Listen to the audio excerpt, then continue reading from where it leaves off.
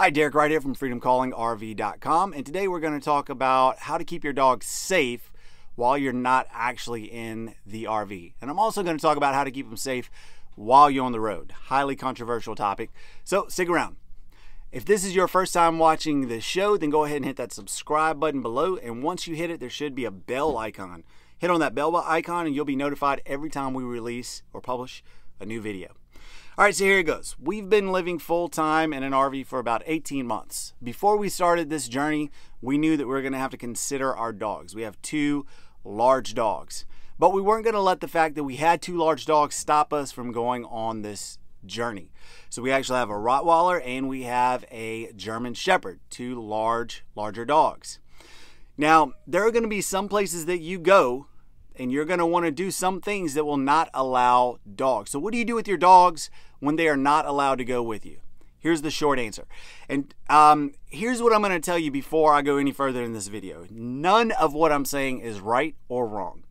All right, people are going to have opinions. That's great. We have a First Amendment in this uh, great country of America, the United States, and you are welcome to express your opinions. This is what works best for my family and our dogs. So you might have another uh, way of going about it. You might have your own opinions, and you're welcome to express them in the comments below. Uh, we have a right to do that, right? So here is how we handle the situation. If we're going to a park, an amusement park, or somewhere that will not allow dogs, we leave them in the RV. There you have it. It's simple, right? It's a it's a stroke of genius. We leave our dogs in the RV for um, a couple hours, the couple hours that we're going to be at the theme park or wherever we're going. Now, how do we actually leave them in our RV? Well, our Rottweiler is pretty geriatric. She is chill, right? She's been with us all over the country. She's flown, um, and she very seldom, actually, she's never had an accident in our RV. She very seldom has accidents in our house unless she's sick or something we don't really put her in a crate. We don't do anything different. We allow her to free reign, free roam um, throughout uh, our RV. I'm actually on a farm right now, and there's a weird sound, like a cat or something. So our Rottweiler has pretty much free reign of the RV. We let her lay down wherever she wants. Now the German Shepherd is a little different story.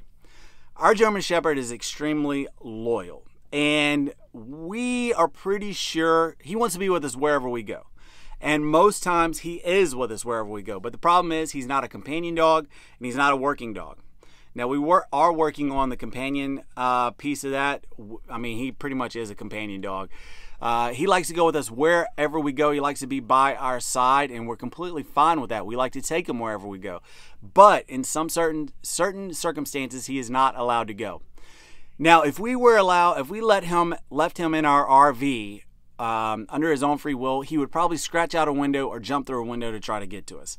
I've got another story about something similar in another video. You're welcome to watch it. I think it's uh, five tips for traveling full time with dogs. I'll link that below. You can watch it.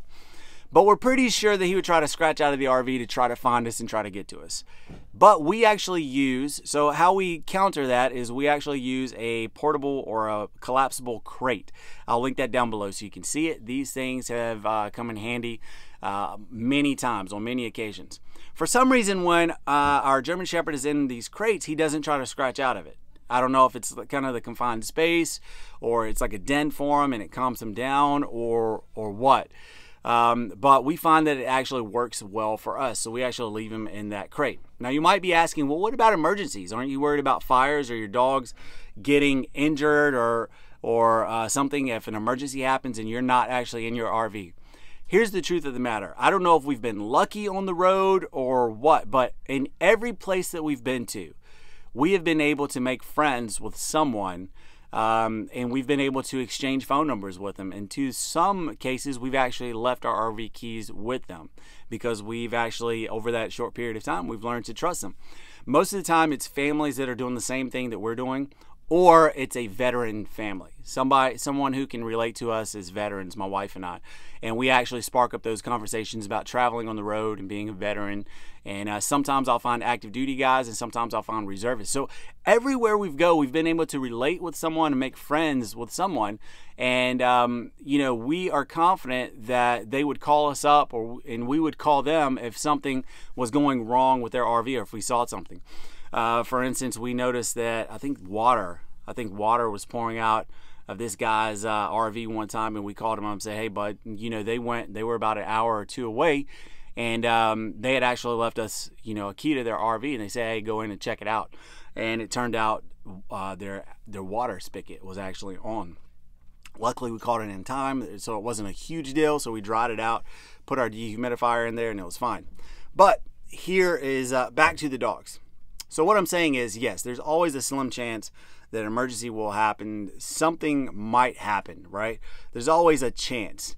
The truth of the matter is that when we're on the road, we usually run into people that actually help us out a lot with that. If there was an accident or something going on, they would either notify us or they would have a key to our property and they would come in and let the dogs out or um, keep an eye on it. And something strange about, well, it's not strange at all, but in the RV community, what we have found, and maybe your experiences are different, but the places that we have been to, there is an amount of I guess loyalty or you know rules. You know, people just don't go up to other people's RVs. They don't meddle with their stuff, and there's like a, a neighborhood watch atmosphere everywhere you go. So people are constantly watching. They know know if new people are coming in.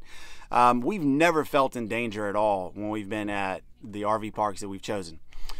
All right, so they that is that. When they are stationary, if we're stationary in a park and we're going somewhere that does not allow dogs, we actually keep them in the RVs. We either crate them or we let them have free roam. Most of the time, our German Shepherd is going to be crated and our Rottweiler is going to be free. And that also gives us a sense of another added sense of security as well. We know that if somebody comes in our RV or knocks on the door or something, our dogs are going to go crazy. And our Rottie, you know, they won't hesitate if they they think their job is to protect us. Our dogs are not aggressive, but I guarantee that if someone try to do something to my kids or try to break into our RV, our dogs are going to go after them. Um, and you know, if they bite them, I don't know, but they will definitely be known. They will let it be known that they are there to do a job. Um, so, what do we do when we're actually traveling on the road? Well, this is another highly controversial topic, but what we do is our dogs actually ride in our fifth wheel. A lot of people have problems with that. I'm just letting you know what we do, what works best for us. We feel it's safer to have our dogs actually in our RV. We don't let them have free roam, but they actually lay on the bed, on our master bedroom and uh, Stephanie and I's bed. They actually lay down the entire trip. So they're not moving around. They're actually, you know, closed up in there. And we've actually put ba- a baby monitor on them before and watched them, and they just chill. They just lay on the bed. Um, we used to keep them in the crates. We used to put the crates on top of the bed when we traveled, and we would strap the crates down. And when we put the baby monitor on them, we could tell they were they were just um, uh, they didn't look comfortable. They looked nervous. They would pace around in that crate and um, they were panting a lot. So we actually did away with the crates and they do a lot better just laying on the bed. They're not nervous. You know, when we stop, they're still sleeping. You know, we got to wake them up to get them out. And here's why we chose to do that. You know, we have three kids that ride in the back of our truck. Our dogs could, they could lay down at the floor, the, the floorboard of our truck inside the cab. You know, there is room for that. But here's why we chose not to. If for the slight chance, if for whatever reason we were in an accident, those dogs now become projectiles. And I don't want to risk them hitting my kids or hurting my kids even more on top of the accident that we're in. Now, in the RV, they are not projectiles. They're only projectiles for themselves. And if my feelings are if my truck is in an accident, then the RV is going to be in an accident. RV is going to be accident. Truck's going to be accident. If we're in an accident, we're all in an accident together. I'd much rather have my dogs riding in the RV, laying down, chilling out, than in the truck going crazy if we are in an RV, because then we risk uh, injuring ourselves and our kids. And it's not a risk I'm willing to take. So if you have different feelings than that, you're more than welcome to leave them below. Um, keep them nice if you don't mind, because we have we have said this in RV groups before, and we have got hammered by the responses. But that is how we actually leave our dogs, keep them safe while they're in the RV if we're doing something that won't allow dogs, and that is how we travel down the road with our dogs.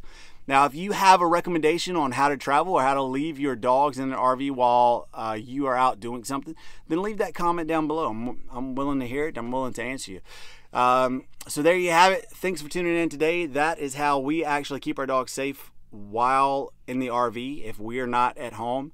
Um, you know, if we're out doing something and the dogs can absolutely not come with us, I will caveat it if at all possible, we always try to ca- carry our dogs, especially the German Shepherd, because he loves to be with us. The Rottweiler is so you know she actually likes to be in the in the RV now. You know, I don't know if it's because she's older, she sleeps a lot. You know, she eats, she sleeps, she goes out, does her business. We walk her, and she comes in. She actually wants to be in the RV. She doesn't like to run and play and be messed with that much. But our German Shepherd always likes to be with us. So there you have it. Um, we'll see you next time. Take care.